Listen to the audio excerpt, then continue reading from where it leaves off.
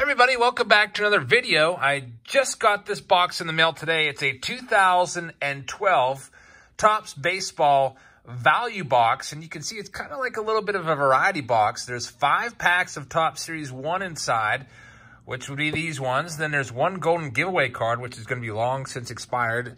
And then there's two packs of 2012 Topps Heritage, and that is the main draw for this box because you could possibly find Mike Trout's first ever Heritage card in here. And there's also an extra Chrome Refractor card. So I paid $29.95 for this at SteelCityCollectibles.com.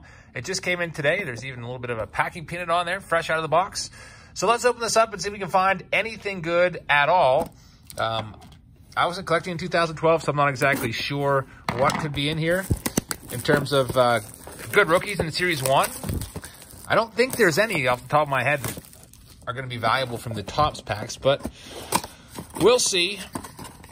This is kind of like your typical blaster box. I think they probably used to sell these probably Walmart or Target. So here's all of our stuff inside. Nothing else in there. We got the two um, Heritage packs. We'll save those for last. Then we have something there. That might be the Chrome Refractor card. And five packs of 2012 Topps featuring Hall of Famer Roy Halladay on the front. So let's get to open these up and see if we can find anything good. There's eight cards per pack.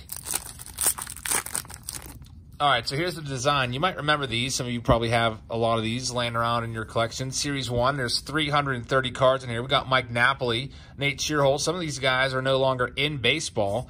Ian Kennedy, Golden Moments card, Lance Berkman. So a bunch of these guys are out of the game now, but Drew Pomeranz is not out of the game. He actually just signed a very nice free agent deal with the Padres for four years. Um, he's going to be their setup guy. Uh, as you might remember, Pomeranz was terrible as a starter uh, last year. Then he switched over to the bullpen and just was lights out, striking out like 40-something percent, maybe 47% of the batters that he faced. Uh, so he really kind of reinvented himself and got paid for it. So Drew Pomeranz rookie card is a nice one there. Drew Storen, former closer for the Nats, Ian Desmond, and then we have these league leader cards featuring Curtis Granderson, Robbie Cano, and Adrian Gonzalez. On to the next pack. See if we can find anything else good. So far, Pomeranz is probably the best card. All right, so we got Eric Thames on top, then a Golden Greats Joe DiMaggio card. That's just an insert card, not much value to that. Golden Giveaway. Uh, I guess there's a code on the back, which is long as it's expired. You can see it expired in 2013. Justin Masterson, Delmon Young, and then Aaron Crow, John Jaso with short hair. Used to see him with long hair when he was with the Buccos. And then Tim Hudson, who was a really solid pitcher for a lot of years there with the Athletics and the Braves. On to the next pack. Steve Delabar is on the back. We got Hall of Famer Chipper Jones on top and then Peter Bourjos, and then there's a 1987 design card. It's a mini of Jayson Werth. That's kind of cool. Got another insert card here, Albert Belle and Mike Stanton. So this is before Stanton changed his name over to Giancarlo Stanton. I think this might be the last year that he was known as Mike Stanton. Uh, went with his birth name Giancarlo after that. Ike Davis, Pedro Alvarez, who I don't even know if he's still around, uh, probably in AAA somewhere. Then the Texas Rangers team card and Steve Delabar rookie card worth five cents. Two packs left. Got a league leaders card on the back. Chase d'Arnaud, brother of Travis d'Arnaud, and then Travis Wood. And we have a, and a parallel card coming up, Chris Iannetta. It is unfortunately Jesus Guzman, so not a lot of value to that one, and it's not numbered either. Jim Thome, gold standard card. Another Jesus Guzman. At least Jim Thome's a Hall of Famer. Brayan Pena and Clayton Kershaw is on there with Roy Halladay, who's in the Hall of Fame. Kershaw will be in the Hall of Fame someday, and Cliff Lee, who actually is on the ballot this year for the first time. Um, I don't know if he'll, honestly, he's not going to get in, but I don't know how much support he's going to get. But he needs 5% to stay on the ballot. So far, only 10 uh, ballots have been made public. I, I look at that pretty much every day. Right now, Barry Bonds at 70%, along with Roger Clemens. Um, also at 70%. And Derek Jeter, if um, if the election was held today, Derek Jeter would have 100% Unfortunately, though, only that's only like about 2% of the votes. There's going to be a lot more votes coming in. You can check that all out on halloffametracker.com. Uh, it's also uh, a Twitter account.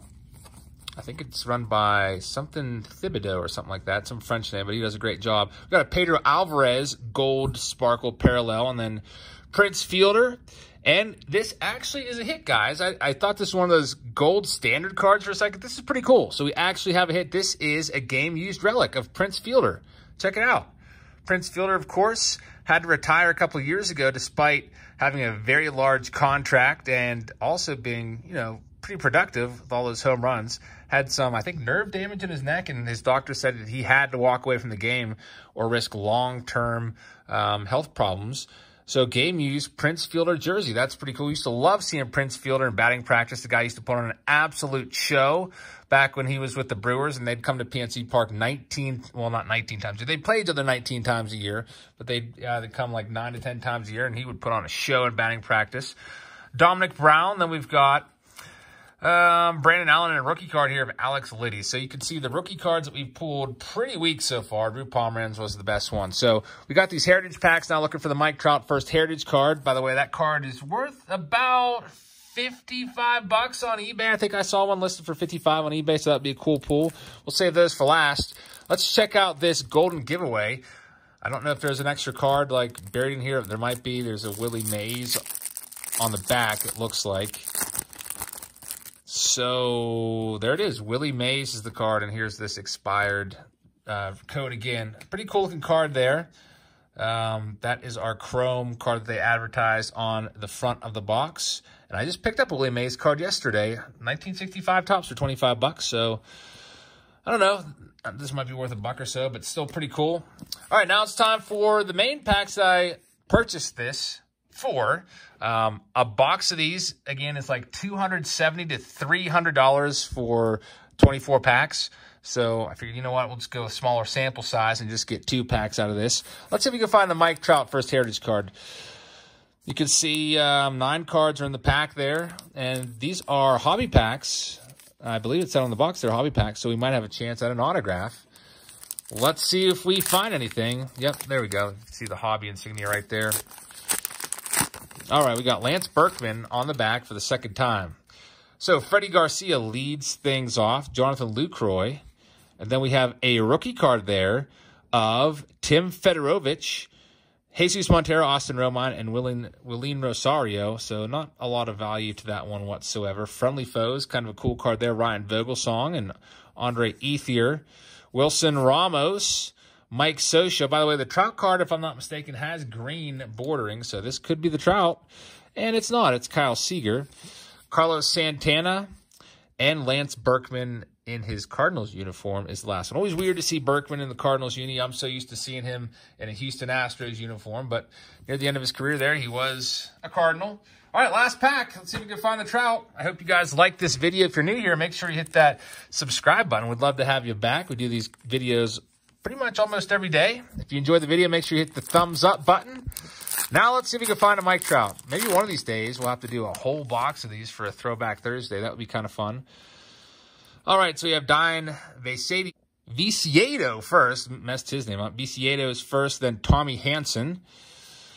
Yadier Molina, who will be a Hall of Famer someday. Tigers Twirlers, Jose Valverde, who used to be their closer, and Justin Verlander. Nate Schierholtz, second time we've seen him. Addison Reed rookie card. And we're down to five cards left. We have a flashback card from 63. Valentina, not even going to try to pronounce that last name. Uh, Soviet cosmonaut. So that's fun.